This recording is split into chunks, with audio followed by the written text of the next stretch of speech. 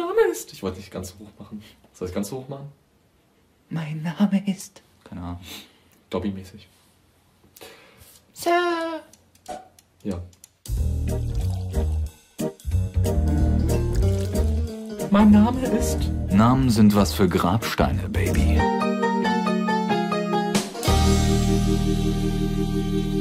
Why not? Immer wieder neu. Nimmst du schon auf? Ja, ich, natürlich nehme ich schon auf. Hallo, schön, dass ihr. Äh, warte, ich habe mir hier so ein paar Moderationsnotizen gemacht. Ich nehme mal die, die jetzt, ja? Mhm. Immer wieder neu, immer wieder anders. Wir sind's, Why Not? In Worten Tommy und Christian. Hallo Tommy, ich bin der Christian.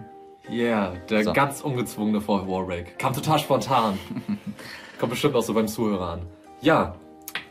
Weinprobe, Hashtag Number 2. Mhm, Vor allem Name. Hashtag Number 2. Warum sagst du denn immer Wein? Weinprobe? Probe. Ja, weil ich mit Wine bin ich schon so im Englischen drin und dann ich Kannst kann du nicht so ich bin umsteigen. multilingual. Nee, das geht nicht. Das habe ich wirklich mal festgestellt bei der Soldat James Ryan, den habe ich im Ryan im Original gesehen und lächle mich nicht so an. Und jedenfalls dann reden sie ja auch wirklich Deutsch, also die Deutschen. Ist ja, Ja. logisch, dass die Deutschen Die Deutsch reden. Deutschen. Und dann hatte ich total Probleme. Ich habe die Deutschen nicht verstanden. Weil ich die ganze Zeit wirklich so auf dieses Englische geeicht war, dass ich die Deutschen nicht mehr verstanden habe. Tja, Das, ich habe Probleme, ich bin behindert. Idiot. Ist, ja. Gut. Also, Weinprobe, Hashtag 2. Ja, ich wollte Gartenzaun heißt das. neu machen. Gartenzaun. Ich habe mal so ein äh, Text-Vorleseprogramm gehabt, das hat dann immer Gartenzaun gesagt. Wie schlecht. Ah, Gartenzaun YOLO. Oh Gott. Ja, also wir haben wieder ein paar. Also, wir haben ja jetzt kein, kein Feedback eigentlich so bekommen. Hattest du es eigentlich rausgekattet beim letzten Mal? Was wollte ich noch fragen, ob du die, die, die Feedback-Anfrage von uns rausgekattet hattest aus der Was ersten Ausgabe. Ja, wir wollten ja eigentlich Feedback haben. Wie kommt es bei den Leuten an, dass wir jetzt mehrere Sachen in einem verwursten? Aber Keine Ahnung, ich weiß also es es war nicht gleich drin. Jedenfalls, ja, es, also ich habe keinen negativen Kommentar gelesen, von daher machen wir, Wir, jetzt aber wir einfach kriegen im mal so Moment, weiter. also Wir machen wir kriegen zwar das keine wir kriegen keine Kommentare. Im Moment Außer von Rift Headbanger, du bist ein cooler Typ. Ja, stimmt, der hört es Ja. War auch ein sehr geiles Kompliment schon unter dem dritten oder vierten Video. Ja. Das war Birdman fünfte oder so, aber hat mir wirklich Ja. sehr gut gefallen. Ja, hat mir, es war natürlich auch ein sehr lobendes Kommentar. Hat mir auch aber gefallen. das, das ist ein Ansporn, einfach weiterzumachen. Also von daher, ja. ja. ja, ansonsten schreibt keine Sau. Ja, ja halt die Leute, die man kennt, aber das ist ja, Ja. nicht ganz so. Die zählen nicht. Jedenfalls, ich habe nichts Negatives gehört, von daher machen wir jetzt einfach mal so weiter. Ihr könnt ja unten in der Timeline die Filme auswählen, die euch gefallen. Dann, wer Walking Dead das Video nicht gesehen hat, wir haben jetzt keine Dia-Show mehr, weil es keine Sau interessiert. Genau, Und so wie immer. Bla, das war, glaube ich, alles nochmal grob zusammengefasst. Mhm. Fangen wir an mit dem ersten Film. Wir machen es wieder Bäumchen mäßig. Mhm. Ich war gestern bei Kingsman. Oh, toll. Ja. Und Das ist ein Film, oder? das ist ein Film. Hat bei IMDb 8,2 gehabt und beim Metascore, wo ja die Kritiker abstimmen, Ja. 59 oder so, was sehr dürftig ist. Also Ja. Metascore, die Kritiker sehr dürftig aufgenommen, die User, der gemeine Kinogänger, Ja. Mhm. aber sehr positiv. Und deswegen weißt du, was stimmt denn jetzt? Es, ja, also ist es sowas, dass es unterhaltsam ist, nur kurzweilig und nur für den Laien unterhaltend. Und ich habe es mir angeguckt und am Anfang hatte ich die extreme Befürchtung, dass es genau sowas wird wie Imitation Game. Ich habe mich ja darüber schon mal ausgelassen, dass es so ein schablonenhaftes Ding hat und du weißt genau, was jetzt passiert und es ist total gefangen in diesem Muster, dass du was geboten bekommst, was du zigmal gesehen hast. War aber nicht so geil. Es war sehr unterhaltsam, ja. Weil es, es hat dann angefangen, irgendwann mit diesen Klischees und Erwartungen wirklich zu spielen und was Eigenes reinzubringen. Ich kenne diesen Ausschnitt da so, was ist das da? Eine Handgranate. So. Ja, der war, das war halt diese Hommage an diese James James, Bond. Szenen mit Q, immer mit der neuesten Ausstattung und so. War ganz lustig, weil er hat dann beim Rausgehen der junge Typ, der den Spitznamen Exi hat, der heißt wirklich so. Also Egg wie das Ei auf Englisch Ja. und dann SY noch hinten. Exi. Mhm. Er heißt eigentlich Gary. Soll ich ihn jetzt Gary nennen oder Exi? Ja, egal. Kann Jedenfalls, der hat dann noch am Ende auf die Tablets und iPhones verwiesen. Was denn damit und so. Total aufgeregt, dass er jetzt sowas haben könnte. Und Colin Firth meinte dann, er ist komplett veraltete Technologie, beachte es nicht weiter. Das war noch so ein kleiner Mittelfinger so an diese Apple-Generation. Fand ich ganz cool. Aber ja, jedenfalls Imitation Game am Anfang dachte ich, weil dieser Exi, der Vater von ihm war halt schon bei diesem Geheimbund, dem Colin Firth angehört. Und natürlich kommt der Gary deswegen da auch rein, also Exi. Und, und du kriegst dann auch wirklich, gibt's diese Szene mit Colin Firth in der Bar, wo er im Trailer danach sagt, sorry, ich musste ein bisschen Dampf ablassen. Da gehen sie halt so durch, ja, du bist ein Typ mit Potenzial, du hast einen überdurchschnittlichen IQ, du hast mal Tore Ja. gemacht, du warst bei den Marines, bist da ausgestiegen. Und das war wirklich sowas, oh Leute, bitte. Und Ja. dann kurz danach wird er auch von so ein paar Schlägern verfolgt, der Exi, und kann dann mit Ton, mit einer ziemlich krassen Parcours-Szene entkommen. Aber. Aber das, so wird halt der Charakter etabliert, so dass ja, du- aber das, mir hat halt dieses, dieses, dass sie sich da schon drüber lustig machen. Also sie ziehen es nicht komplett durch, Mhm. wenn 22 Jump Street zum Beispiel. Habe ich noch nicht gesehen, aber den ersten. Leider, ja. Aber der, der zweite ist halt so, sie gehen von Anfang an mit der Einstellung rein, ja, wir machen jetzt genauso wie das erste. Und sie reden auch die ganze Zeit so, ja, ist ja genau derselbe Fall wie damals. Und wirklich die ganze Zeit bringen sie das. Und das fand ich total genial. Also das heißt total genial. Es hat sehr Mhm. Steht so ein bisschen gemacht. drüber über dem, was man Genau. ein- ja. Und das, das war halt dieses Spiel mit den Erwartungen einfach, dass Mhm. sie halt so ganz unschuldig sagen, ja Leute, was erwartet ihr eigentlich? Wir bringen dasselbe nochmal. Was sollen wir auch anderes machen? Ja. Und es wird ein bisschen krasser und so, aber das ist halt dasselbe nochmal. Mhm. Und genauso ist es hier, dass sie mit irgendwelchen Erwartungen halt spielen, die du hast. Also an Agentenfilme, an ja, genau. Also genau dieses agentenmäßig. Colin Firth tritt am Anfang so richtig als so der Snob auf, so der bonierte Gentleman. Mhm. Und du merkst dann irgendwann einfach, der er kickt Ass, aber richtig Oh yeah. und macht in der Barszene halt alle krass fertig. Mhm. Da muss ich auch sagen, die Regie hat ja Matthew Vaughn übernommen, Ja. der auch Kick-Ass gemacht hat. Deswegen Mhm. jetzt Kick-Ass, verstehst du? Das war so eine Reminiszenz. Total gelungen. Jedenfalls, die, die, diese Action-Szenen waren nicht so ganz gut wie in einem Jackie Chan-Film. Also können wir, glaube ich, mal kurz erzählen. Es gibt dieses Format Every Frame a Painting. Mhm, auf Oder YouTube. Every Frame a Picture. Picture. Mhm. Every Frame a Picture, ich verwechsel es jetzt mal. Jedenfalls, da hat einer, der nimmt immer so, ja, wie soll man sagen? Filme auseinander und äh, Ja, bestimmte Muster. aber nicht und nur so. ja genau, nicht nur einfach so, ja, der macht es so und so, sondern ja. er sagt, warum sind Jackie Chan Actionfilme so gut und warum, was Genau. machen amerikanische Actionfilme Und falsch? Jackie Chan Actionfilme, um es mal kurz runterzubrechen, sind eben so gut, weil er immer Steady-Kamera hat, also eine fest positionierte Kamera mit Mhm. Wide Angle. Du siehst die ganze Zeit immer alles. Einfach, Genau. und es ist eine krasse Choreografie. Und du siehst es halt ungeschnitten. Ja. Dadurch wirkt es einfach krasser, weil es halt einen Übergang hat. und wenn es Schnitte gibt, dann mit so ein paar Extras noch oder mit, schon an die nächste Szene ja und so. und mit ein paar ja, mit so gemacht auch, Tricks, ja. genau. Wir, wir verweisen mal auf das nächste Video, vielleicht kannst du es ja sogar verlinken, wenn du dran denkst. Mal gucken. Was? Das, das, den Kanal. Achso, ja, ja, Dass das man kann da ich gerne machen, dass wir noch die letzten 14 Abonnenten hier verlieren. Warum? Man, das ist doch nicht, ist doch nicht, dass man wieder verliert. Ich habe Minderwertigkeitskomplexe, lass mich. Okay. Jedenfalls, dann, es ist nicht ganz so gut wie in diesem Jackie Chan-Film, aber es ist sehr viel besser als der durchschnittliche Actionfilm heutzutage. Der hat dieses ganz schnell gecuttete. Mhm. Was Jason Bourne so. Jetzt kommt hier schon wieder ein Anruf. Sag mal, willst du mich verarschen? Da muss was? ich jetzt aber rangehen, sorry. Cut. Und Action. So, da sind wir wieder. Wo war ich eigentlich stehen geblieben? Bei Jackie Chan, genau. Mhm. Also es ist über dem, ach nee, Jason Bourne war ich ja schon so weit. Was Jason Bourne halt hatte, diese ganz vielen schnellen Schnitte halt, wodurch du sehr leicht die Übersicht verlierst. Und das macht halt jeder Actionfilm irgendwie. Der Mhm. Shaky Cam, bla, bla. mittendrin in die Handlung, genau, und dann Mhm. möglichst noch den Schlag mit nachvollziehen und so. Hier war es besser, weil er sehr viel mehr Sequenzen zusammenhängend hatte. Mhm. Also es gab auch diese schnellen Schnitte mal, aber Auch viele Zeitlupen und so, glaube ich, ne? Ja, So einige. das moderne Action-Kino. in den, sie haben das versucht noch mit so einem Effekt immer zu belegen, wenn, ein, wenn ein Objekt Geschwindigkeit annimmt, das halt an dem Rändern so Unschärfe. Ja, genau, Mhm. Unschärfe. Und das haben sie noch gemacht. Aber es, es war schon sehr viel besser choreografiert als mancher, mancher Actionfilm. Also der heutzutage so Mhm. Hab ich auch gehört von anderen Seiten. Das, das war, war wirklich nett anzuschauen. Es war nicht immer ganz die richtige Distanz eingehalten, mal zu viel, mal zu wenig, aber es war trotzdem anschaubar. Es war unterhaltsam. Ja, Und ja, was wollte ich noch sagen? nichts mehr. Ja, ja, doch ein bisschen noch. Also dieser. Mhm. Doch, ich will noch mehr sagen.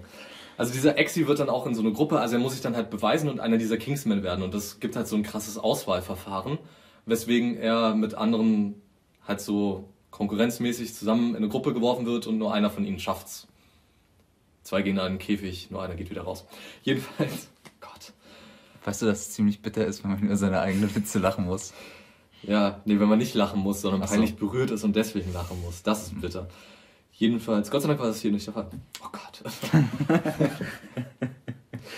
So, weiter, Und jedenfalls, diese, diese Gruppendynamik war genau wieder dieses wie bei Imitation Game, dass halt einer aus der Gruppe er greift sofort am Anfang das Wort und du weißt, okay, das ist so der Gegenspieler. Und genauso wird's auch ein bisschen, sie schrauben das Gott sei Dank zurück, dass diese, oh, wir sind die Gentlemen und du bist nur so der, Außen, der Swag-Typ. Ja. Und ja, also er läuft die ganze Zeit so rum zu Swag und ja, er ist der Gangster.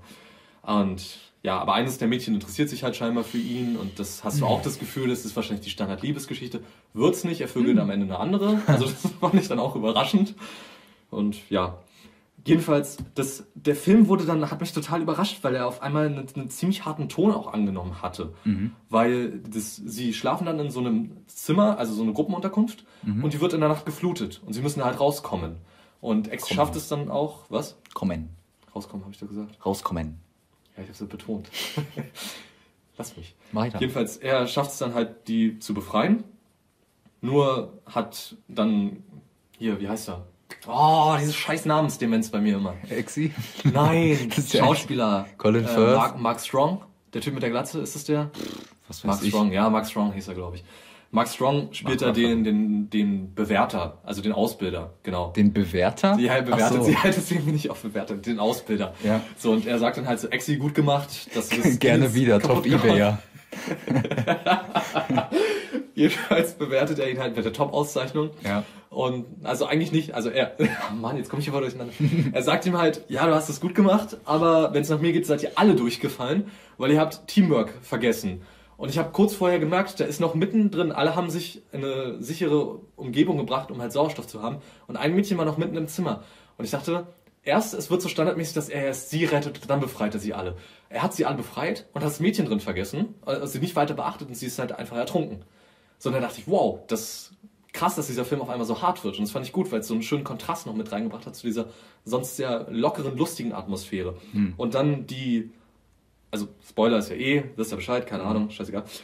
Dann die, die Endprüfung, wenn du so willst. Also die Endaufgabe, um Kingsman zu werden. Ihnen wird am Anfang ein Hund zugewiesen, den sie die ganze Zeit halt trainieren müssen. Und die Endaufgabe ist, er schießt den Hund. Und dann dachte ich erst so, Exi bringt's halt nicht, schafft es nicht, den Hund zu erschießen. Und dann dachte ich erst, der Twist ist jetzt, okay, das war die Aufgabe, du musst halt loyal gegenüber dem Hund sein. Nein, ist es nicht. Die Aufgabe war wirklich, den scheiß Hund zu erschießen. Und dann bist du der Kingsman. Du musst halt die Befehle befolgen. Im Zweifelsfall halt. So, und dann geht er zu Colin Firth, der ihn dann halt zur Rede stellt, weil er es halt nicht geschafft hat, ein Kingsman zu werden. Er ist halt dann rausgekickt worden, weil er seinen Köter nicht erschossen hat. Es war ein sehr, Mobbing. süß, es war ein sehr süßer Köter. Ein Mops. Ah, Mobs, wirklich? Es war ein Mops, ja. Es war dann auch halt der Witz, dass er dachte, es wäre eine Bulldogge und der wird, der wird aber noch größer, oder? Nee. Oh, verdammt. Das war noch ganz okay. Ähm, und jedenfalls Colin Firth äh, erklärt ihm das dort alles. Entschuldige, dass ich jetzt über den Tisch gespuckt habe beim Reden. jedenfalls Colin Firth erklärt ihm das dann alles, dass da drin nur Platzpatronen waren. Und Oh. dass sie den Hund gar nicht erschossen haben. Ja. Und er hatte seinen Hund halt ausgestopft, der Colin Firth, weil der halt irgendwann gestorben ist. So, so. und und das Mädchen ist auch nicht gestorben, das war halt so eine Doppelagentin, die halt nur so eine Rolle gespielt hat. Und da dachte ich mir, oh Leute, was ist das denn jetzt für eine Scheiße? Ihr habt das so geil gemacht, dass ihr wirklich das mal auch mal hart gemacht habt. Der Film ist ja auch ab 16 bei uns. Und jetzt, jetzt reißt ihr euch das, was ihr aufgebaut habt, im Arsch schon wieder ein. Und ich dachte, was ist das für eine konsequenzlose Kacke? Und die nächste Szene ist dann, wie, äh, ist fetter Spoiler-Alarm, wie Colin Firth in der Kirche ist, voll radikaler, hier, äh, Hardcore-Christen. Ja. Also Schwuchtel, Nigger und so sagen die die ganze Zeit und hier Klimawandel ist nur Verarsche und Ja. so und bla bla bla, also richtig hardcore. Und der Bösewicht Samuel L. Jackson hat eine, er heißt nicht Samuel L. Jackson, er heißt Valentine. Der hat eine so eine Maschine entwickelt, dass halt bei dir das Aggressionszentrum übersteuert wird und du dann komplett nur noch den Wunsch hast, irgendwelchen, irgendwen umzubringen. Also so ein bisschen Zombie-mäßig. Und er ist halt in dieser Kirche und dieses Ding wird aktiviert und dann bringen sich normale Menschen, also gut, christliche Fundamentalisten, okay, aber halbwegs normale Menschen, bringen sich dann einfach auf brutalste Art und Weise in dieser Kirche um. Und Colin Firth halt mittendrin und er schießt einfach irgendwelche äh, Unschuldigen. Und es wird total hart. Und du bist da, was ist hier los? Es wird richtig Das heftig. waren alles Doppelagenten. Nee, diesmal nicht. Und auch richtig heftig, richtig brutal, halt irgendwen aufgespießt, irgendwie niedergestochen, irgendwie zu Tode geprügelt und richtig krass, aber auch gut choreografiert währenddessen. und ich war da erst so geschockt, oh mein Gott, was bringen die hier jetzt? Aber im nächsten Moment war ich so, krass, dass sie das bringen. Also das hat mich dann wieder reingeholt in den Film, weil ich, ich hatte halt diesen guten, Kon also diesen Kontrast gut gefunden. Und ja, das war das. Das ist schon alle. Es ist wirklich auch dann später gibt es noch so eine Szene mit Köpfen. Ich will jetzt an der Stelle nicht so Nägel mit Köpfen. Die ist, nee. Und also nicht, nicht so Köpfen, sondern der Kopf. Also nicht Köpfen die Handlung, sondern Mhm. Köpfe, Mehrzahl von Kopf. Und die, die ist so cool gemacht. Also von der, von der Inszenierung, von der Idee her, so lustig auch. Also die, die war Hammer. Also der Film hat wirklich sehr viele schöne Ideen, die eine Eigenständigkeit mit reinbringen. Auch Samuel L. Jackson, Sam L. turned den Swag on. Das ist wirklich der Typ. Also er lispelt ja in dem Film, das hast du, glaube ich, schon mitbekommen durch den Trailer. Wo ich erst. Ne, hast du den Trailer überhaupt nicht gesehen? Nein. Okay, der, cool. Ich muss ehrlich sagen, der Film hat mich irgendwie überhaupt nicht Es interessiert. ist wirklich spaßig. Ich weiß nicht, ob dir Kickers gefallen hat. ja. Also, so, Mark Strong hat auch gesagt, dass. Ich ist hoffe, der mit er, der Glatze, oder? ich hoffe, er heißt wirklich Mark Strong, sonst ist ich scheiße. Jedenfalls, er heißt Mark Strong, doch, ich bin mir relativ sicher. Und yeah, der angehende Kinoexperte. So, jedenfalls, der hat auch gesagt, dass das wohl das wird für Agentenfilme, was Kickers für Superheldenfilme war. Hat, Kickers hat ja jetzt nicht wirklich einen Einfluss auf Superheldenfilme, würde ich sagen. Aber es ist eher so eine Richtung, ein bisschen, was Austin Powers versucht hat, halt Superheldenfilme so ins Lächerliche zu ziehen. Äh, Superheldenfilme, Agentenfilme. Ja. Aber halt auch auf einer ernsteren Ebene. Also nicht so diesen Spoof-Charakter. Ja. Und jedenfalls Samuel L. Jackson lispelt halt die ganze Zeit. Ich war so am Anfang, warum lispelt er jetzt unbedingt? Hab dann später erfahren, Samuel L. Jackson lispelt eigentlich wirklich. Also Ja. er hat sich halt krass abtrainiert für seine schauspielerische so. Karriere. Und hat dann den ersten Take aufgenommen mit so einem Lispeln. Und dann hat der Regisseur auch gesagt, was machst denn du da jetzt? Ja, eigentlich lispel ich halt. Und ich dachte, das wäre so, weil halt jeder Bond-Bösewicht irgendwie so eine kleine Behinderung hat. Dann dachte ich, das wäre halt meins. Und dann hat Matthew Vaughn gesagt, ja cool, dann bringen wir das noch, bauen das noch so ein bisschen ein, dass das vielleicht sogar dein Antrieb war, ein Bösewicht zu werden und so. Und ja, und Samuel L. Jackson ist wirklich so ein Milliardär, rennt mit Cappy aber rum, mit Sneakern, irgendwie immer legere Kleidung. Äh, äh, lädt Colin Firth zum Essen ein und dann gibt's Happy Meal, also von McDonalds und so. Und der Typ ist total gut drauf, hat irgendwelche Sprüche immer die ganze Zeit und er kann kein Blut sehen, er kotzt dann, er, er mag töten nicht und das... Aber, ja, okay, wir müssen jetzt ja nicht auf die Handlung eingehen, aber Nee, aber es ist wirklich, es, der Film bringt eine Eigenständigkeit mit rein, die ich Ja. nicht erwartet hätte. Mhm. Also er ist unterhaltsam und hat sogar auch noch eine politische, na, politische Message. Mhm. Politische Message. Die, die jetzt nicht aber krass ins Gesicht gedrückt wird, Mhm. sondern du kannst die halt mitnehmen, wenn es dich interessiert. Es geht ums Versagen der Politik, um auch diese, diese, die, das Billige ist uns gerade gut genug Generation. Halt, wenn uns was gratis angeboten wird, dann nehmen wir es. SIM-Karten, ne? Genau. Also SIM-Karten werden gratis angeboten. und Alle natürlich, wow, gratis SIM-Karten und freies Internet, freie SMS. Scheiß auf die Konsequenzen. Mhm. Egal, dass wir uns dafür abhängig machen oder so. Sowas ist halt auch noch mit drin. Mhm. Auch Klimawandel wird immer wieder thematisiert. Mark Hamill hat übrigens eine kleine Nebenrolle. Oh, Ja. wusste ich noch gar nicht. Jetzt lache ich schon über deine schlechten Witze. Mhm. Ja. Soweit ist es What schon have we become? Bist du jetzt bald mal fertig? Ja, ich bin fertig. Hab alles gesagt. Unterhaltsamer Film. So. Gebt euch. Wie, hast du noch eine Wertung oder sowas? Da haben wir doch letztes Mal auch nicht gemacht. Ich fand es eigentlich Okay. ganz cool, dass wir jetzt Okay. die Wertung weglassen. Wertung, gut. Ja. Mhm. Hat mir gut gefallen. Hat mir gut gefallen. Ja, war überraschend. Also es ist, es ist jetzt kein mega anspruchsvoller Film, es ist mehr Okay. so was mal für zwischendurch, wenn du drauf Lust hast. Mhm, mhm. Ein bisschen Entertainment. Was Okay. mich auch überrascht hat, war der Film Sunshine, den ich geguckt habe. Da kommt der Gerhard Delling in dir zum Vorschein. Ich wusste das so. Das machen alle. Alle Leute müssen irgendwie sagen, der Markus Lanz. mh. Wenigstens hast du Aber nicht ich- Markus Lanz gesagt. Ja. Aber ich glaube, Gerhard Delling kennt keiner. Ähm, ja, Also gekonnte Überleitung sollte das heißen. Genau. Ja, Sunshine. ja. Schön. Ich bin dafür, dass wir das in nächster Zeit nicht mehr ansprechen, wenn wir. You make me happy when skies are Möchtest du, dass unser Video gebannt Please wird? don't let my sunshine go away. Englisch ist nicht so dein Ding. Wir machen mal weiter. Ja. Ähm, also ich bin jedenfalls dafür, dass wir zukünftig nicht mehr darüber reden, wenn Übergänge gelungen waren. Ich hasse das. Das machen alle. Lass uns das nicht mehr machen. Ja, wenn sie gelungen waren, sage ich auch nichts. Okay. Ähm, gut. Sunshine habe ich geguckt und ähm, ich wusste. Sonnenschein auf Englisch. Du bringst immer so eine Kommentare, wenn ich hier irgendwas mache. Jetzt find dich mal damit ab, dass ich das auch bringe. Das Gut. war eher nicht ich. Wo kommt das denn jetzt her? So. Also, wie gesagt, Sunshine, verfluchte Kacke. Piep. Ich hab's weggepiept jetzt. Sogar über Oh. den Witz musstest du lachen. So, Sunshine habe ich geguckt. Nee, weil ich jetzt was anderes gedacht habe. Kennst du das, was ja das Mundschuh bei TV total ist? Und dann die ganze Zeit einfach nur Fotze sagt und sie bringen dann immer 10 Sekunden zu spät einen Piep oder so. Ja. Das ist total lustig. Weil Stefan ganze Zeit so, jetzt hör auf damit, wir müssen das wegpiepen alles. Und der Piep kommt halt immer zu spät. Das ist total cool gemacht.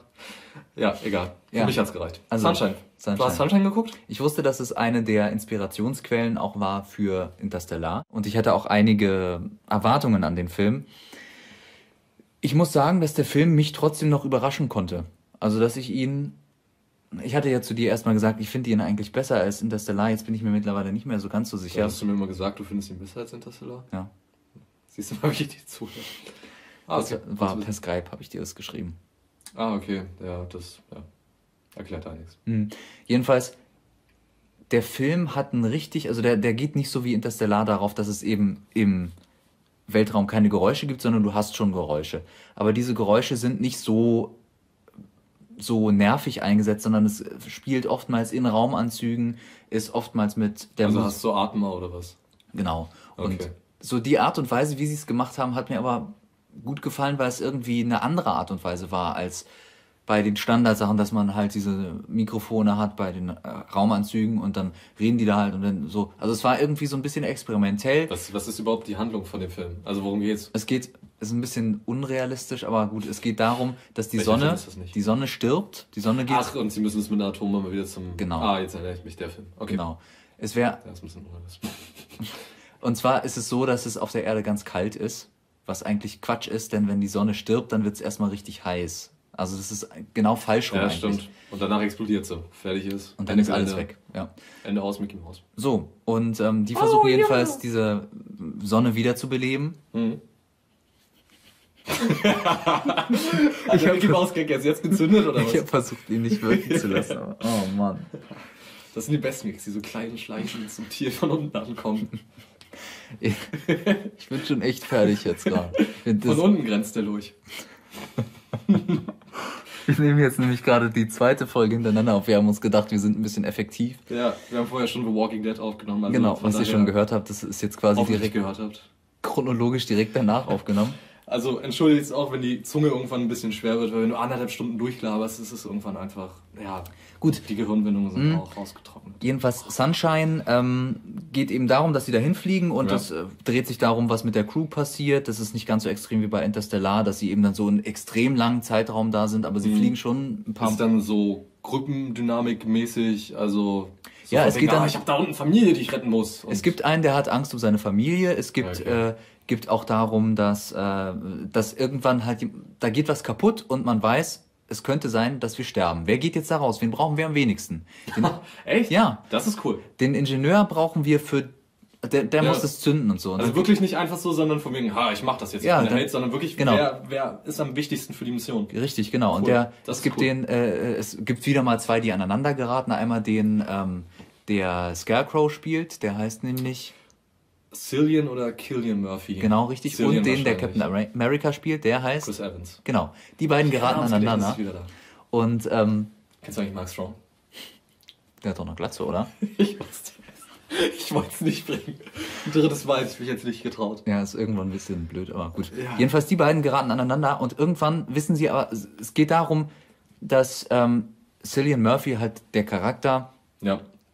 Eine Nachricht, die geraten irgendwann in so einen Schatten von der Sonne, wie auch immer man das dann nennt, und sie können keine Nachrichten dann mehr Ja, senden, das weil gibt's ja beim Mond auch. genau, richtig. Wir haben ja Und- Apollo 13 geguckt. So, jetzt ähm, sendet er eine Nachricht und ist da eine Stunde drin und jetzt kann der andere seiner Familie nichts mehr schicken und ist darüber richtig sauer. Sie streiten sich, sie schlagen sich Ah, und okay. irgendwann kommt es aber darauf an, da, äh, sie wollen jetzt, also es gab noch eine erste Mission, das ist die zweite Mission und irgendwann äh, äh, empfangen sie dieses Signal, so ähnlich wie bei ähm, Interstellar, dieses Hilfesignal und sie denken, Mhm. okay, anscheinend sind die ja doch nicht gestorben Irgend Oder wie bei Alien.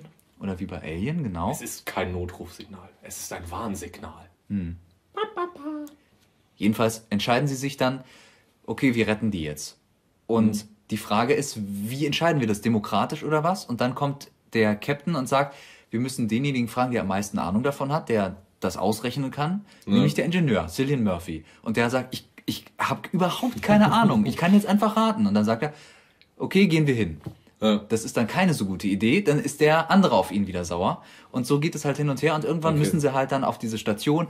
Da passieren dann ein paar spooky Dinge, die will ich jetzt mal nicht spoilern, weil ich will, dass Das ihr den Film mit, mit hier Scare Jumps, ein bisschen. Jumpscares. Ja, auch, aber es ist, ja, doch, doch, einige Momente sind schon Ja, so. okay. Ja, Aber da bin ich kein Freund von. Es, es funktioniert Deswegen aber auch vor allen Dingen über den soundtechnischen Weg. Die meiste Zeit, wo du nichts siehst, ist es viel gruseliger. Und ich muss wirklich sagen, es sieht, die Sachen, die sie zeigen, sehen einfach richtig geil aus. Und die haben, Das da wollte ich nicht nämlich noch fragen, weil Danny Boy ist ja der Regisseur und der hat ja das Steckenpferd, Mhm. dass er eben dieses Visuelle hat. Also das hat er bei jedem seiner Filme, dass er Ja. diesen visuellen Ja. richtig was reinhaut. Und also das das war- merkst du da auch besser schon, ja. ich glaube, es war auch gut, dass er entschieden hat, dass, es, dass er es alle, alles von einem Studio machen lässt. Mhm. Äh, von den Special Effects her. Das hat dann eben auch ein Jahr gedauert. Es ging nicht so schnell. Also er hat. Das man äh, das sonst von mehreren machen? Ja, also Ah, du hast dann welche, die machen nicht. das und welche. Oh, nicht. und oh, wie geil. Äh, und er hat ein Jahr mit seinem Kumpan, ich weiß, ich habe kein Namensgedächtnis, es ist einfach nicht existent bei mir. Ach, du auch nicht. Ja. Jedenfalls, ein Jahr schreibt er das Drehbuch. schon wieder an den dann, ein Jahr Drehbuch, ein Jahr Pre-Production, dann sechs Monate, glaube ich, gedreht und dann noch ein Jahr nachproduziert. Also, insge- dreieinhalb Jahre oder was? nee, insgesamt fast fünf Jahre, glaube ich. Oh. Und für diesen einen Film, Hardcore. und er hat danach auch gesagt, er macht nicht mehr einen Science-Fiction-Film, weil es eben so viel war, was er Mhm. machen musste. Aber die Entscheidungen, die er getroffen hat, waren, glaube ich, cool. Auch wenn man ähm, manche Storylines vielleicht nicht so mögen kann oder manche Twists oder so. Ist denn diese, diese Gruppendynamik, also scheinbar lebt die erste Hälfte des Films davon, oder jedenfalls bis, sie da, bis diese Mhm. Horror-Elemente kommen. Ist es denn wirklich gut gemacht, also dass du es abkaust? Es ist sehr gut gespielt. Es ist, man hätte bestimmt mehr rausholen können. Manchmal sind, kommt, manche Dinge kommen ein bisschen zu kurz. Manche Charaktere sterben einfach. Die sind dann halt Okay. weg. Also es wird nicht so ausgespielt. Aber manchmal Ja. machen sie halt auch Dinge, die du nicht erwartest.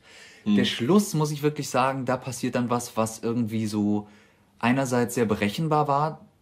Du kannst es gerne spoilern hier. Nee, ich spoilere das nicht. Gut. Ich will nicht spoilern.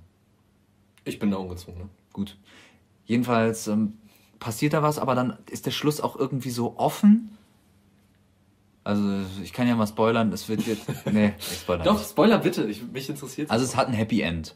Aber das Happy End ist so, dass du denkst, hä, was ist da eigentlich passiert? War das jetzt echt oder was war das denn gerade? Weil die da so durchdrehen. Also die Sonne macht was mit denen, diese Strahlen. Die, Ah, find, die okay. gucken in die Sonne und die, die haben halt so Sonnenschilde und die können die nur auf ein paar Prozent oder unter Mhm. fünf Prozent oder was aufmachen, weil es einfach so eine krasse Strahlung ist. Und irgendwas an dieser Strahlung ist aber so, dass es die Leute fasziniert und die werden davon irgendwie Hypnokröte oder was, wie bei Futurama.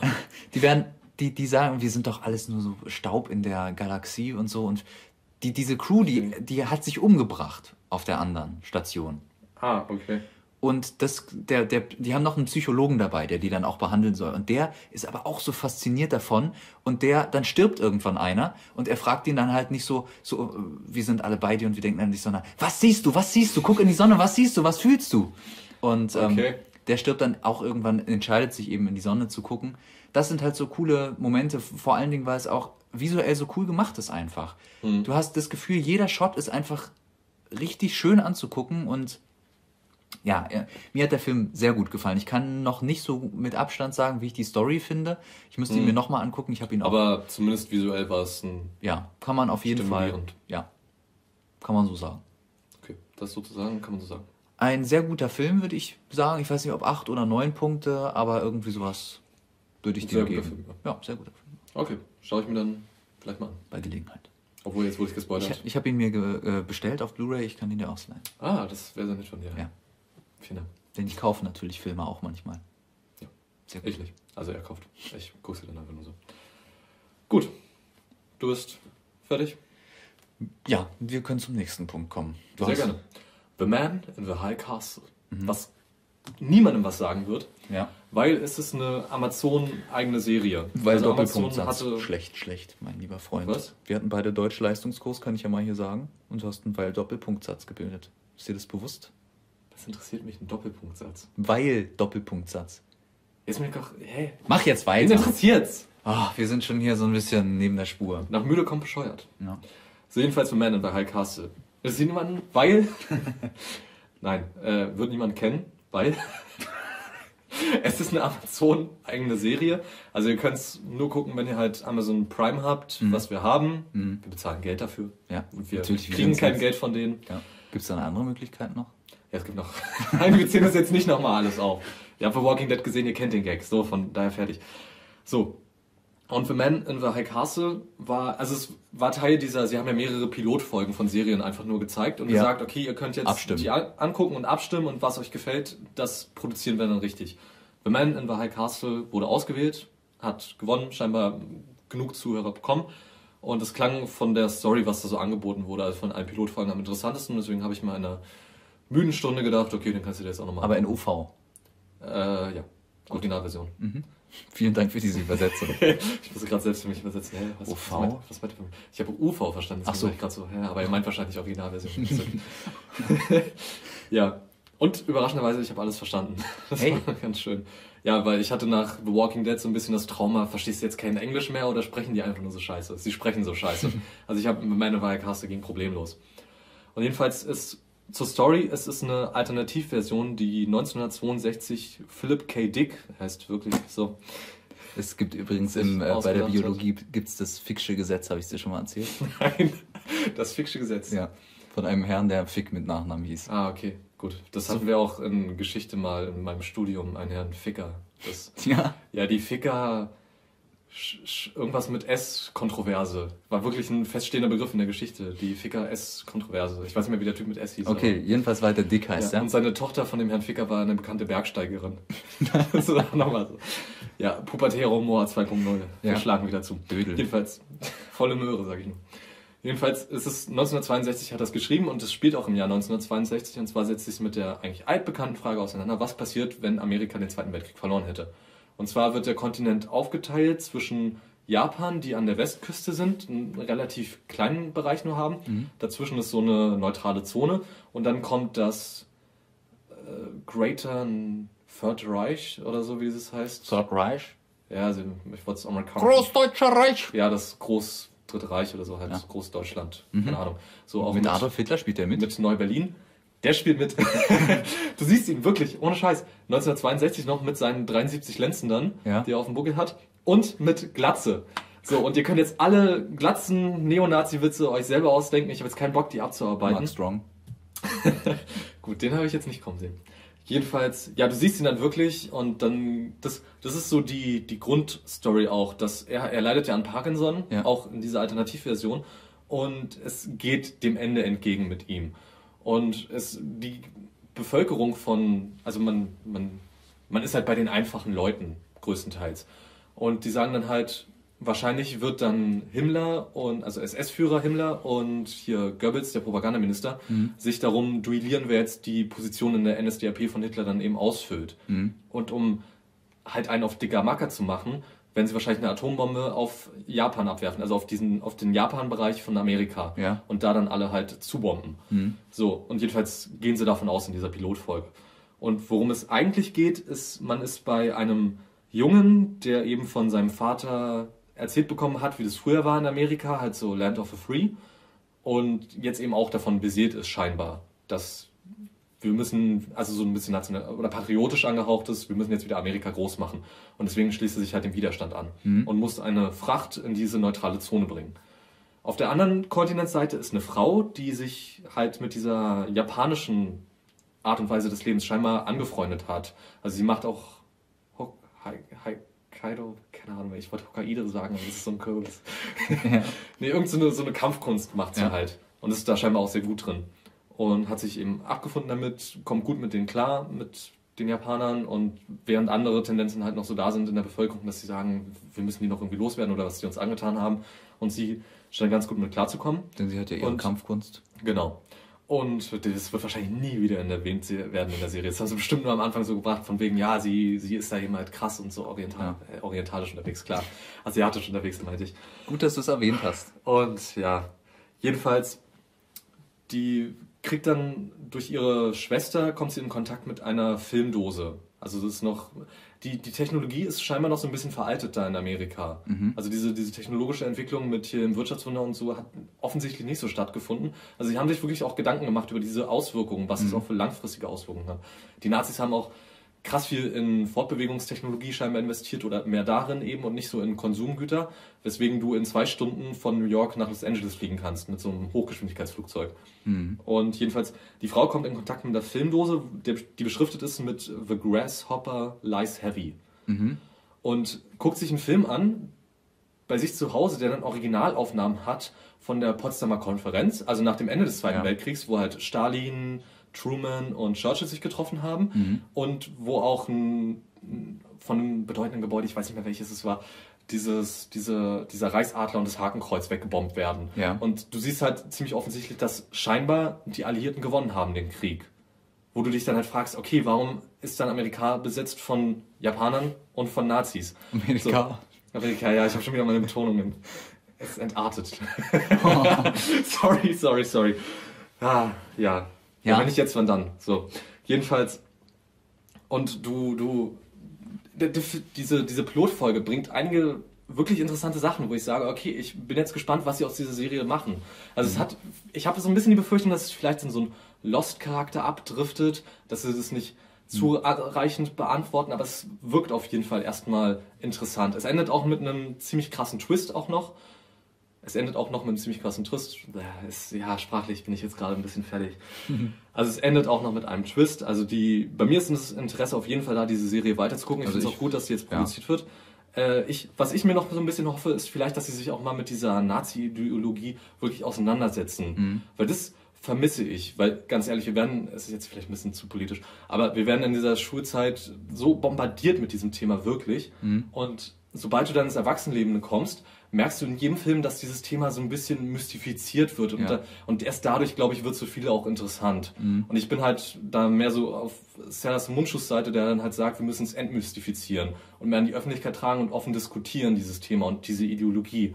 Und ich fände es wirklich interessant, wenn sie das mal machen würden. Es gibt auch eine Szene, die möchte ich kurz noch als Beispiel rauspicken, wo der Typ mit seinem Lastwagen unterwegs ist und er hat eine Panne und ein Polizist kommt an. Und dann auf einmal geht so ein Ascheregen auf die nieder. Und er fragt ihn dann, was ist denn das für ein Ascheregen?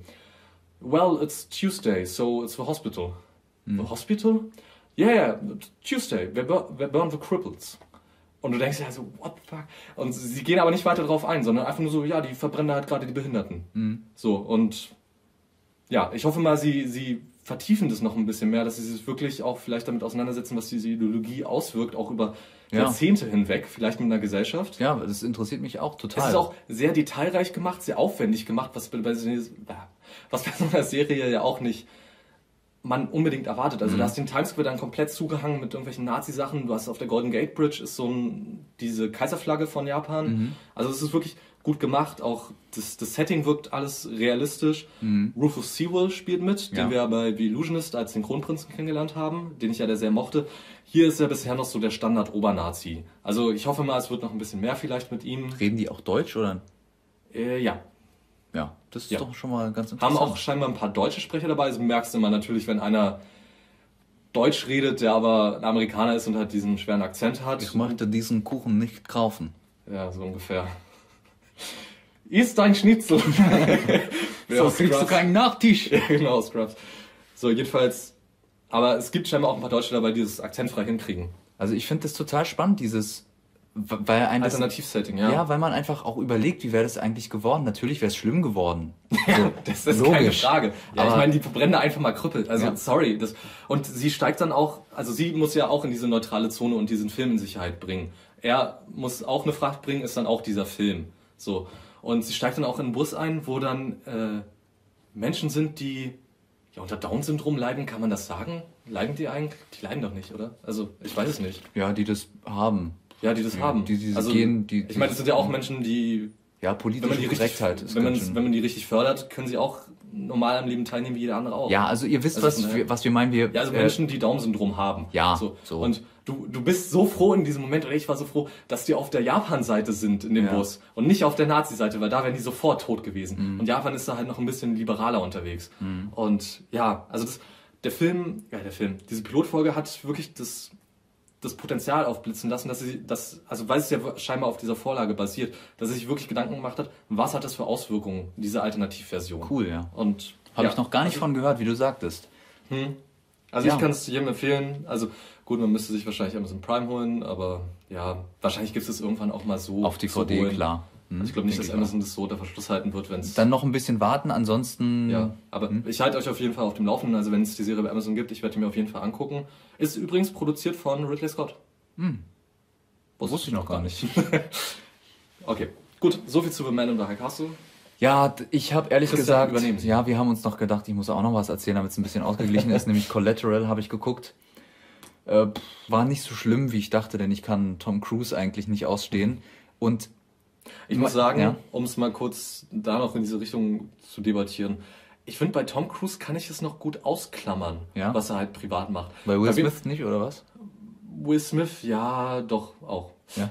Aber wobei mit After Earth hat er sich schon ziemlich ins Abseits Und geschossen. John Travolta? Äh, John Travolta, nee, weil er mir schauspielerisch nicht gefällt. Also Tom Cruise besticht durch Leistung. Aber bei wem ich es zum Beispiel gar nicht ausklammern kann, ist Mel Gibson. Ja, okay. Also wahrscheinlich kommt es dadurch, dass ich Tom Cruise erst als Schauspieler kennengelernt habe und danach erfahren habe, oh, der ist übrigens bei Scientology. Bei John Travolta war es eher anders, da habe ich ihn erst so als Scientologen kennengelernt und dann als Schauspieler. Und bei Mel Gibson, genau, da habe ich auch erst mitbekommen, dass er halt diese antisemitischen Aussagen tätigt und danach erst seine Arbeit ein bisschen gesehen. Ich wollte es für die Zuschauer, ja, ja, die sind dumm. Genau. ja, ich wollte es nicht so offen sagen, aber ja. Ja, Wer auch also, immer das jetzt hört, ihr seid dumm. wie gesagt, äh, noch Nehmt ein anderer. Punkt. Michael Mann-Film und, Echt? Das wusste ich gar nicht mehr. also vielleicht erzähle ich auch große gut. Kacke. Ich Nee, kann kann, sehr gut sein, ja. Michael Mann. Den Ähm. du ja durch seit Heat sehr, sehr ins Herz geschlossen hast, ne? Ich weiß auch nicht. Also du findest Heat gut. Ich habe nur fand ihn Gutes gut, über Heat gehört. Ich fand Ich fand den so scheiße. Also nicht so scheiße, aber die Musik fand ich blöd. Der hat mich einfach nur genervt. Der war mir zu lang. Ja, er ist zu lang. Also- Also ich finde ihn trotzdem gut.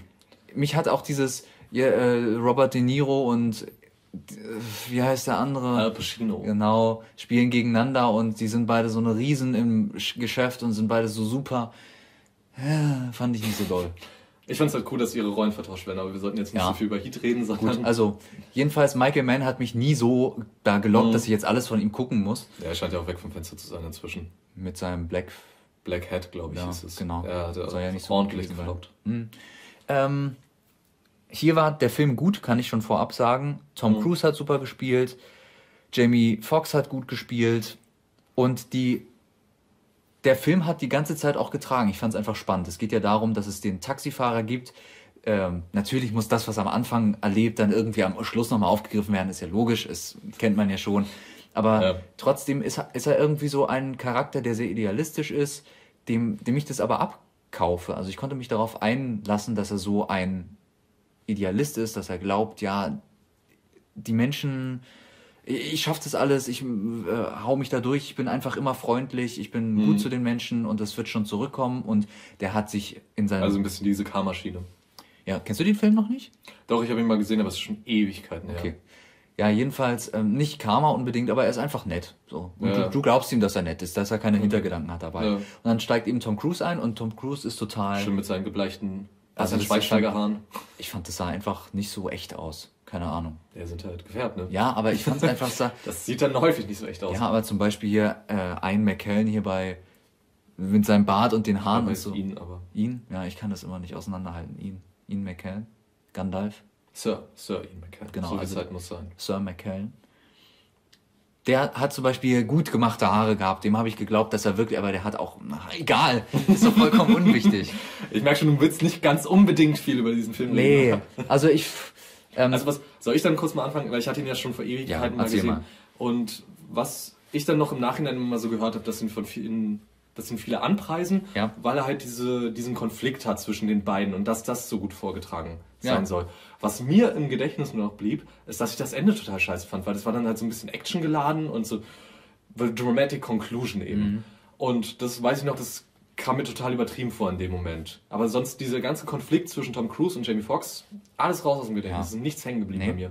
Null. ja, es geht eben darum, dass Tom Cruise ein Auftragskiller ist und der muss jetzt sieben Leute oder so umbringen Und und dieser einen Nacht. Genau. Und Jamie Foxx soll ihn von einem Ding zum anderen fahren. er will natürlich nicht, dann macht das trotzdem, weil er bedroht wird und weil er gesagt, ja, ich bring deine Mutter um, wenn du es nicht machst. Und dann, Okay.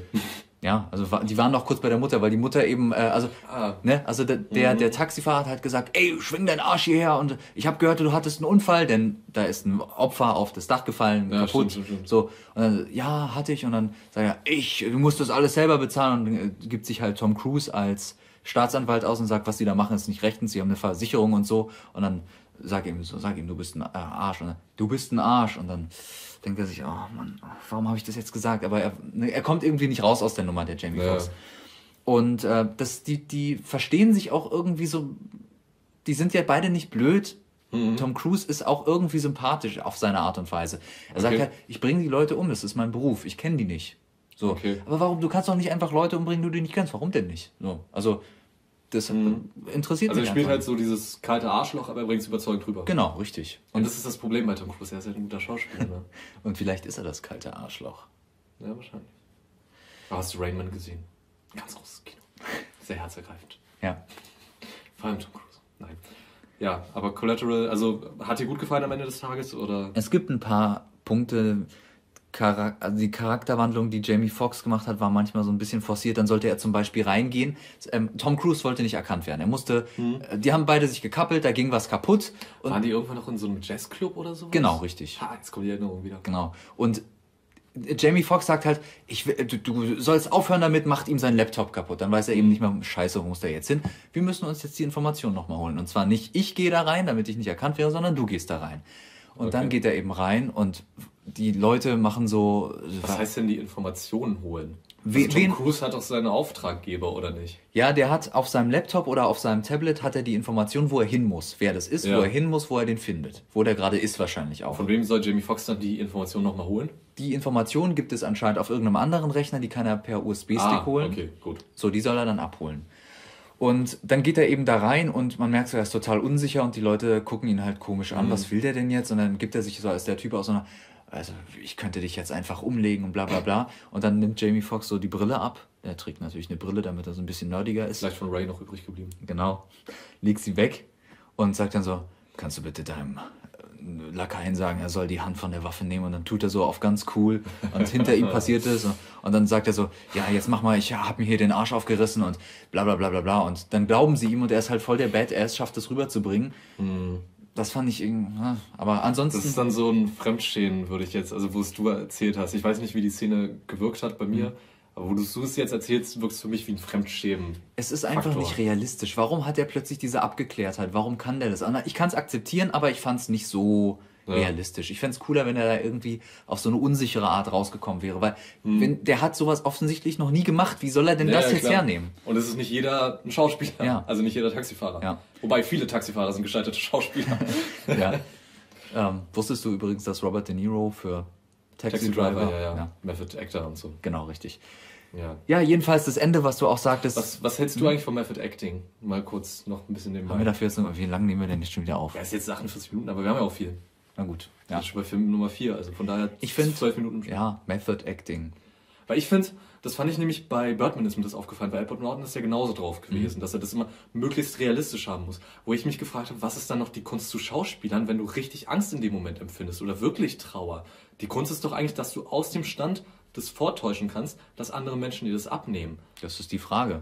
Also das, das finde ich halt bei Method Acting irgendwie so, so komisch. Naja, es, also- wirkt, es wirkt dann vielleicht im Endergebnis besser, okay, weil du mehr diese Situation durchgemacht Weil hast. es halt echte mehr, was Emotionen hier- sind. Ja, aber Es ist dann halt, die das so. Schauspielkunst, also die, die, diese Qualität, irgendwo ist es nicht mehr ganz Schauspiel. Naja, das ist, das ist, dann siehst du wahrscheinlich das Schauspielen eher als was, wo man sich verstellen muss. Ohne Ja. sich, ohne wirklich derjenige zu werden. Aber die also das, meisten, das ist die Kunst dahinter, würde Ja, ich sagen. die- dass du halt viele- wirklich was überzeugend vortäuschen kannst, was du noch nie so durchgemacht hast. viele Schauspieler sagen auch, dass es so ist, dass sie eben beim Schauspielern aber nach was suchen, was in ihnen drin ist. ja, das Ja? habe ich auch schon öfter gehört, ja. Du musst es, wenn du irgendwas fühlen willst, wenn du irgendwas zeigen willst, musst du es fühlen, meine ich. Also wenn, Okay, wenn, ja. du, wenn du weinen willst, dann musst du dich irgendwie zum Weinen bringen. Und manche kriegen es Mhm. eben, indem sie wirklich traurig werden und andere haben andere Tricks. Gut. Aber die richtig ist halt nur Sache, musst du wissen, Eine wie. Definitionsfrage, ja. Genau. Weil ich, ich stelle mir eben das sehr viel schwieriger vor, weil du eben diese Erfahrung nicht gemacht hast, es aus dem Stand, aus der Lameng einfach so zu machen und es dann überzeugend Du kennst doch diese Szene in äh, Herr der Ringe, Achtung Spoiler, wo äh, im ersten Herr der Film, Ringe. ja komm, aber wo Elijah Wood sich umdreht, weil Gandalf gerade gestorben ist, wo er weint. Ja. Und dann, wo, Peter Jackson mir gesagt, du musst das wirklich so machen. Ja Das und ist wo der entscheidende Moment. und Das dann ist hat ihn eine äh, Moderatorin in einem Interview, was ich gehört habe, äh, gefragt, wie hast du es gemacht? Also Mhm. hast du irgendwas Trauriges erlebt? Und dann, nö, also ich habe sowas noch nie erlebt. Ich hab's, einfach gemacht. Also Ja, und die Szene war gut. ja, Sorry. also, von je, daher- es kommt ja. halt auf den Typ Menschen an und wenn manche Leute so, glauben, sie müssen es so machen, so, auch äh, ich glaube Christian Bale macht es auch in großem Maße, natürlich körperlich, aber Ja. es gibt viele berühmte Schauspieler, die es auf diese Colin Art Firth auch für Kingsman. Ja gut, es muss halt die körperliche Statur. Ist halt die Frage, was ist dann Method Acting? Wenn jemand so aussehen soll wie trainiert, dann kann er auch gleich trainieren. Ja, eben. Ne? Aber es geht ja auch um das psychische, mentale und da ist es einfach eine. Es gibt ja nicht umsonst verschiedene Schauspielschulen und das ist Mhm. eben eine davon und kann man gut finden, kann man blöd finden. Ja. Manchmal ist es auch ein bisschen Also, übertrieben. Ich bin dann am Ende Konsument. Für mich zählt das Ergebnis und wenn es einer mit Method Acting gut hinkriegt oder einer ohne, ist es mir auch okay. Ja. Aber ist mir okay, ja. Ist mir auch recht. Finde ich es okay. Es ist mir okay und ich finde es recht. Jedenfalls. Aber ich finde es halt von, von einem außenstehenden Standpunkt her schon beeindruckender, wenn es einfach wirklich einer aus dem Stand hinkriegt. Mhm. Habe auch letztens einen wirklich beeindruckenden Artikel gelesen, wo jemand meinte, dass der, wie heißt der, Eddie Redmayne oder so? Hab der jetzt den, der hier Stephen Hawking gespielt hat und dafür den Oscar Ach bekommen so, hat. okay. Und der meinte dann halt, da hat der Falsche den Oscar bekommen, weil jemand anderen zu spielen, den es wirklich schon gibt, ist mit einer der einfachsten Fingerübungen für einen Schauspieler. Halt, Imitation sozusagen. genau, Imitation Game, yeah. Mhm. Weil du halt wirklich was hast, woran du dich orientieren kannst und du musst einfach nur diese Sachen dir aneignen und es soll wohl relativ einfach sein. Naja, hm, Also, ja, gut. ja. Ist anders, als wenn man eine Figur komplett neu erschaffen soll. Ja, und der was Eigenes mitgeben muss, dass es glaubwürdig wird. Ja, ist Aber, halt die ja. Frage, der hat es wahrscheinlich, also ich äh, habe den Film nicht gesehen, ich kenne den Schauspieler nicht, Auch aber nicht. äh, ich finde, es ist trotzdem eine krasse Leistung, wenn du eine Rolle verkörperst, die es schon gibt, die aber vielleicht von dir ganz weit weg ist. Und wenn du eine Rolle neu kreierst, wirst du ja auf die Rolle auch gecastet. Natürlich, du wirst immer gecastet, aber wenn du darauf passt, dann wirst du genommen. Das heißt, du musst dich gar nicht mehr so stark verstellen. Weißt du, was ich meine? Also das, Hm. Ja, ja, klar, ich weiß, was du meinst. naja, das wäre so die Sache. Äh, jetzt kämen wir nochmal auf. Soll ich nochmal auf Collateral und das Ende eingehen oder wollen wir es einfach so offen stehen lassen? Guckt es euch an Du und. kannst auch aufs Ende eingehen, ob es dir halt so, also ich, wie gesagt, ich habe es noch im Kopf, dass es ein bisschen mit zu übertrieben forciert actionmäßig dann war. Vielleicht weil die Stimmung vorher nicht so aufgebaut war, keine Ahnung. Naja, es ging eben darum, Aber soll ich dir nochmal. Es war halt so ein großer Showdown irgendwie in einem Hochhausgebäude, in einem Bürokomplex Also, oder so. Das am Anfang noch. Des Filmes- Jamie Foxx da reingeht. Jamie Foxx, ähm, genau, in Jamie Und Foxx. irgendeine Frau hat im Schlepptau oder so. Ja, Sorry. lass mich doch mal erzählen. ja, Entschuldigung. Jedenfalls Jamie Foxx trifft am Anfang in seinem Taxi eine Frau, der gibt da eins, ein Bild mit von seiner Insel, wovon, von der er träumt und sagt, sie brauchen das dring, dringender als ich. Sie ist Staatsanwältin, hat gerade einen schwierigen Fall. Am Schluss kommt natürlich raus, diese Staatsanwältin soll umgebracht werden. Jamie Foxx hat den Ah. Taxifahrer gefahren. Hm, Ist schon wieder sowas, Jamie wo man Foxx hat denkt, den Taxifahrer gefahren. nicht schlecht. Ja. Nee, Jamie Foxx hat, Cruise ist in wirklich kein Taxifahrer. Riesen Twist am Ende. ah.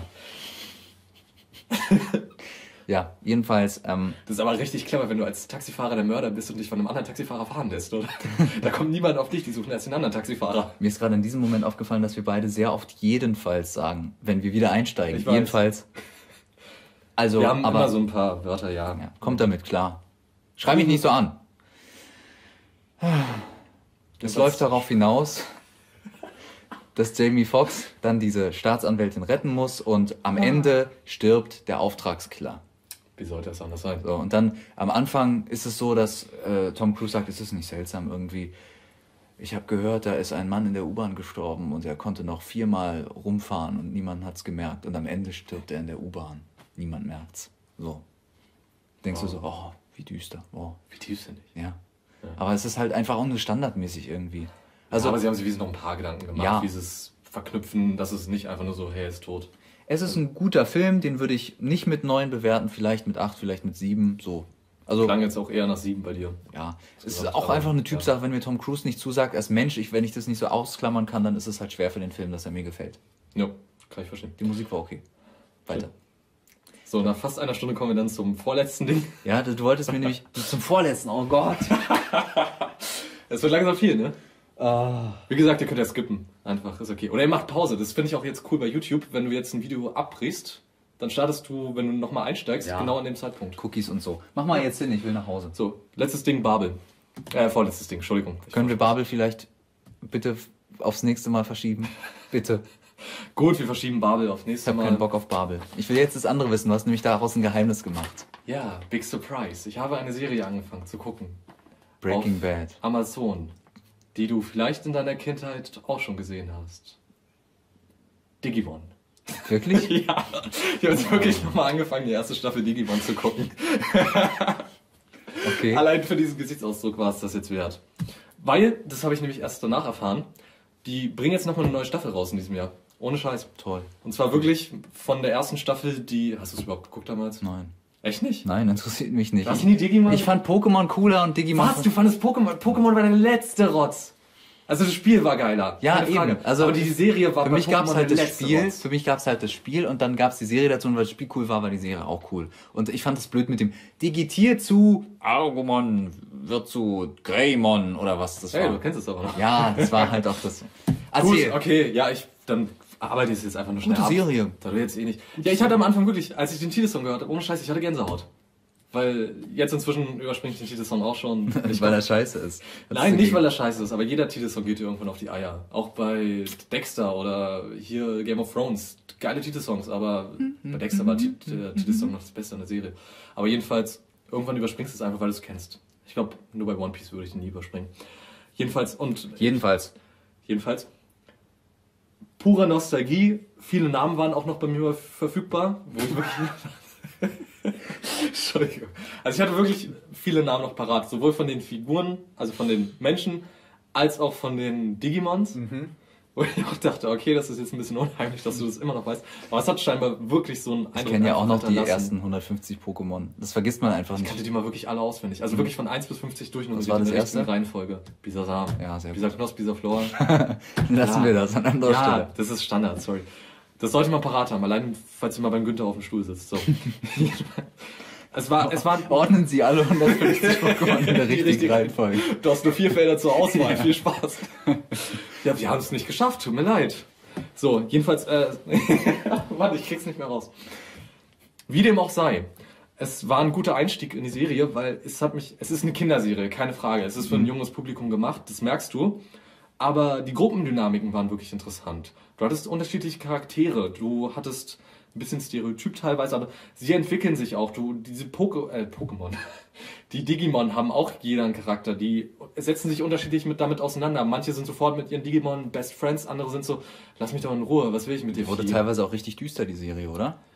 Ja, komm mal G- Gibt's nicht auch Dark irgendwas? Wie Ja, die, wenn die jetzt zu Bösen werden? die, die Themen sind, also die Themen fand ich halt immer gut. Beim, es sind auch wirklich noch ein paar Figurenentwicklungen. Also in der zweiten Staffel gibt's Black Wargreymon, der von Bösen einfach aus dem Nichts erschaffen wird und der dann eine totale Sinnkrise hat und halt seine ganze Existenz hinterfragt. Wo ich jetzt im Rückblick immer noch sage, wow, das ist schon ziemlich krass, sowas in eine Kinderserie mit reinzubringen. In, dem, in der dritten Staffel hatten sie dann eins, das ist eigentlich so mal so ein bisschen, ja, chaotic, neutral, also immer so ein bisschen zwischen den Seiten, aber dann von den Bösen halt die Möglichkeit bekommen hat, richtig mächtig zu werden, das dann angenommen hat, ein gutes Digimon umgebracht hat und dann in eine Sinnkrise kam, weil es jetzt böse geworden ist und dann zu den Guten übergelaufen ist. Also es hatte schon teilweise gute Themen und es hat auch hier gute Themen. Eben dieses Gruppendynamiken, sich damit auseinandersetzen, dass sie jetzt in einer fremden Welt sind, dass sie diese Gesetze erkunden müssen. Du merkst auch richtig, wie es halt auf Kinder zugeschnitten ist, dass sie zwischenzeitlich durchrechnen, wie sie ihre Rationen einteilen sollen. Und dann lassen sie richtig Pausen zwischen den einzelnen Rechenschritten, dass du quasi als so Laura the Explorer mäßig, dass du als Kind selber mitrechnen kannst. Oder auch eine Sequenz, wo sie dann wieder in ihrer Welt sind und dann eine Karte für die U-Bahn ziehen. Was machst du da? Ich ziehe eine Karte für die U-Bahn. Und dann so wirklich drei Sekunden auf dieses Ticket drauf. Das so Muss man Message- machen. Genau, ihr müsst ein Ticket ziehen, sonst könnt ihr nicht mit der U-Bahn. Und später ist es auch, wir haben kein Geld, wir können nicht mehr mit der U-Bahn fahren. Heute jedes Kind sagen würde, ja scheiß drauf, ich springe da einfach über die dreckige Schranke und fahr trotzdem mit. Und ja, jedenfalls, Jedes Kind ist so, mach einfach. auch egal ob es drei ist oder so. Jedenfalls inzwischen fällt mir aber auf. Bahn, Es ist der Jedenfalls-Fluch. Ja. Inzwischen fällt mir aber auf, wie miserabel diese Dialoge einfach sind. Wirklich richtig, richtig schlecht. Wie viele Logikfehler auch drin sind. Also die Bösewichte haben, also in der, ich weiß nicht, ob du die Bösen noch kennst, du hast es nie so geguckt. Nein. Okay. Sie sind dann, in, also ein Digimon kommt in ihre Welt, ist halt der Böse, ist so vampirmäßig angelehnt und saugt dann auch Menschen aus, was so ein bisschen, ja, warum saugt ein Digimon jetzt auf einmal Menschen? Ja, aber so ein creepy? Kram Aber- gab's ja auch bei Pokémon. Ja, aber jedenfalls, der ist so richtig Bond-Villain-mäßig drauf, dass er irgendwie seinen, seinen Plan im Hinterkopf hat und er könnte jetzt einen von denen locker umbringen, oder dessen Digimon, Aber nö, er macht jetzt erstmal seinen Plan und geht halt weg und sagt so, ja, ja, ich, um dich kümmere ich mich später. Das ist richtig schlecht. So, dass Dann, man, ja, hm. Jetzt gerade bin ich bei dem, also die dritte Staffel, äh, die erste Staffel ist unterteilt in drei Phasen. schon drei. Es gibt drei Staffeln, aber ich habe sie noch nicht geguckt. Okay. Jedenfalls, die erste Staffel ist unterteilt in drei Phasen. Die haben halt, also sie digitieren ja immer von Champion-Level auf Ultra und dann auf Mega. So, und erst haben sie einen Bösen, der Champion ist, dann haben sie einen Bösen, der Ultra ist und jetzt haben sie vier Böse, die Mega sind. Na, also das So. typische wie immer eigentlich. Ja, genau. Und jetzt ist es halt auch vier böse Digimon, die halt auf Mega-Level sind, die Meister der Dunkelheit. Da frag es nicht, nimm es einfach hin. Der Name ist so schlecht. Jedenfalls, und statt dass die alle auf sie gehen und sie zusammen fertig machen, und sie hatten die Gelegenheit, sie wurden dann noch gerettet, weil ein anderes Digimon sich geopfert hat, um sie da rauszuholen. Also dann auch wieder eigentlich ein gutes Thema. Und jedenfalls, statt dass, dann erfahren sie, wo die sind, wieder. Und statt dass sie zu viert hingehen, sagt das eine Vieh, ja, das ist mein Territorium, ich bin dafür zuständig, deswegen bringe ich die jetzt um. Und dann geht's da alleine hin und was passiert natürlich? Alleine können die einen von den Viechern platt machen. Und dann arbeiten die auch wirklich jedes einzelne von denen ab. Also das ja, ist bisschen billig. ja, also, ja, so, dann diese Welt in, insgesamt ist auch so ein bisschen komisch. Also dieses Stärke-Balancing ist nicht klar. Irgendwann, irgendwo reicht ein paar Rookie-Level aus, um Champion-Digimon fertig zu machen. Aber viele Champion reichen nicht aus, um Ultra-Digimon fertig zu machen. Und ein Champion-Digimon ist so krass wie ein Mega-Digimon teilweise. Ja, Oder so es wie's- ist- Irgendwo ist es einfach nicht ganz klar. Es ist auch immer, die Kämpfe sind wirklich so standardisiert. Also es ist wirklich immer, oh, er ist zu stark, dann muss ich digitieren. Und dann kann ich ihn platt machen. Es ist nicht, dass sie mal irgendwie clever sein müssten Ja. und einen Schwachpunkt ausarbeiten oder eine Taktik oder so. Gab es ein einziges Mal, kann ich mich dran erinnern. Und oder dass sie mal zusammenarbeiten und ihre Kräfte zusammenwürfeln oder das wirklich mal ausspielen, dass einer halt unterschiedlich groß ist und der andere ist kleiner und der hat die Fähigkeiten und der hat die Fähigkeiten. Das passiert irgendwie überhaupt nicht. Also es gibt keine Choreo oder dergleichen, wie es jetzt bei Dragon Ball war oder so bei den Kämpfen. So und ja, es gibt auch, diese Welt an sich ist auch komplett unlogisch. Also, sie brauchen halt, Digimon, der Digi-Ritter, brauchen die Digi-Ritter, um zu digitieren. Es gibt aber andere Digimon, die einfach so digitieren können. Und wenn diese Digimon genug Schaden bekommen, sterben sie einfach. Wenn die Digimon, der Digi-Ritter genug Schaden bekommen, entwickeln sie sich erstmal zurück auf ein vorheriges Level. Das ist so irgendwie, ah, es ergibt keinen Sinn. Du darfst eigentlich nicht als Erwachsener an diese Serie rangehen. So, was wollte ich noch sagen? Nichts. Ja, äh, in jeder Folge werden einige Minuten wirklich mit diesen Digitationen verschwendet, die du spätestens nach dem dritten Mal schon Dann diese misch- 3D-Animation. Ja, genau, und jedes Mal und jedes Mal und jedes Mal. Oh, das nervt nur noch. Ja, ich bin gespannt, ganz ehrlich, mit der neuen Staffel. Ich würde sie mir wahrscheinlich so angucken, wenn ich irgendwie rankomme. Einfach nur, um zu sehen, ob sie clever genug sind, dass sie auf die Zielgruppe das zuschneiden. Weil was ist die Zielgruppe? Ich glaube nicht, dass sie jetzt großartig neue, junge Leute damit ansprechen können, sondern das sind wahrscheinlich eher so Leute wie ich, jetzt nicht Meinst du wirklich? Ich glaube, ja, weil der Hype, es gibt einen gewissen Hype jetzt im Internet, Hm. dass die halt sagen, wow, es kommt eine neue Staffel und da freue ich mich schon mega drauf. Das sind halt alles Leute, die es in meiner, also in ihrer Kindheit geguckt haben. Ja gut, aber die Kinder, die Kinder sind nicht im Internet normalerweise, die ganz kleinen in Foren. Oder? Jetzt. Nee, deswegen, ich sag ja, das sind ja Leute in meinem Alter. Ja. Oder noch älter, die dann halt mit Mitte 20 sagen, wow, ich habe das damals geguckt, auch bei Amazon. Ja, Kannst du okay. dir mal die Bewertungen angucken. Ja, es sind dann wahrscheinlich so. Es genau, ah, schön, dass wir diese Serie hier haben. Das ist jetzt nochmal Nostalgie und so. ja, genau, genau. was bei mir halt auch der Anreiz war. Und jedenfalls, ich bin einfach gespannt, ob sie das sich vor Augen führen, diese Problematik und es dann auch ernster machen. Also der Zeichenstil, es gibt bisher nur ein einziges Bild, wie die dann erwachsen aussehen, also sie sind jetzt 17. Ich, es wirkt ernster zumindest, weil bei der Staffel haben sie es halt noch total krass oder bei allen Digimon-Staffeln mit so einer richtig krassen Farbsättigung, dass es halt einfach nur übertrieben ist. Und da wirkt es schon dezenter. Also ich weiß nicht, ob ich mir jetzt noch die zweite Staffel da angucke, weil die hat zwar dieses Digimon, das aus dem Nichts erschaffen wurde, was dann wirklich diese krasse Problematik hat, aber allein deswegen dann auch nochmal so gut 50 Folgen durchgucken. Nee. Das ist echt hab ich jetzt, glaube ich, Mhm. ich habe mich wirklich gefreut, auf, als ich das nochmal angefangen habe und das war am Anfang auch überzeugend, aber ich hatte es, es, es, es war romantisch verklärt durch die Jugend. Also es hält jetzt nicht mehr stand. Mhm. Ich würde sagen, von den Themen her ist es wirklich immer noch eine gute Kinderserie, weil wenn ich mir mit meiner kleinen Cousine hier irgendwelche Kinderserien angeguckt habe, mal, weil ich musste, denn das, das hat irgendwie nichts mehr, was jetzt noch sich irgendwie mit Problematiken auseinandersetzt, so richtig. Und das hat Digimon noch. Also von daher, ja, setzt eure Kinder vor die Mattscheibe und zeigt den Digimon. Ich finde die schönste Kinderfigur vom Namen her ist der Kakophant. Kennst du den? Das kennt keine Sau jetzt, oder? Kakophant, kann man mal googeln. Das war doch von Sanft und Sorgfältig, oder? Nee, es gibt den Kakophanten. Ja, aber das war doch bei Sanft und Sorgfältig mal, oder? Ich glaube schon, dass da irgendwer angerufen hat und Ja. meinte, hey, es gibt dieses Kinderbuch des Kakophanten. Ach so, stimmt. Kann sein. Ich glaube, ja. das gerade. Sanft und sorgfältig können wir beim nächsten Mal, wenn wir auch über Babel reden, mal besprechen. Über was reden wir über Baden? Babel. Ach, Babel. Meine Lippen sind gerade bisschen- Sprachen lernen einfach mit Babbel. Jetzt habe ich den Gag nochmal gebracht. Gut, eine Stunde fünf Zeit das Ding jetzt an. Ich meine, wir werden noch ein bisschen was rauscutten, okay, aber Hm. wir, wir kommen jetzt zu einem Ende, es war genug. Ja.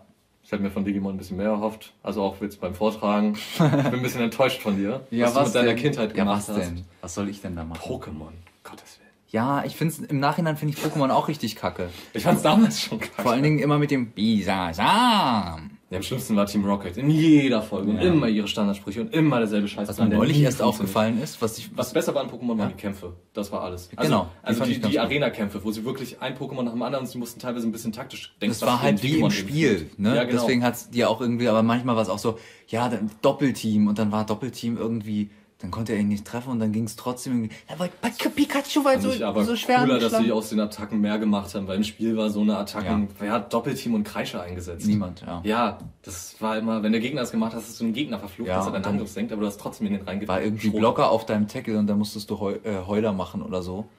Ich habe nie irgend sowas gemacht. Ich habe immer sofort Damage verteilt, ohne Ja, aber wenn du kein Tackle mehr hattest, aber Tackle gab es unendlich, oder? Nee, 35. 35 AP. Angriffspunkte.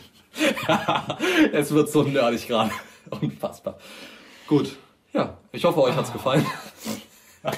Ich bin jetzt durch auf jeden Fall. Gut. Wir hoffen natürlich, ihr seid beim nächsten Mal wieder dabei, wenn wir dann vielleicht über Babel sprechen und über sanft und sorgfältig. Kennt ihr bestimmt auch. Wenn ihr es noch nicht kennt, werden wir es euch mal vorstellen. Ja. Und bis dahin verbleiben wir mit freundlichen Grüßen, einem feuchten Händedruck. Vielleicht auch mehr. Mal sehen, was sich entwickelt. Ja. Und denkt immer daran, müde Schlafwandler wandeln mehr. Oh, wusste ich noch gar nicht. In diesem Sinne macht's gut und passt auf euch auf. Tschüss. Thank you.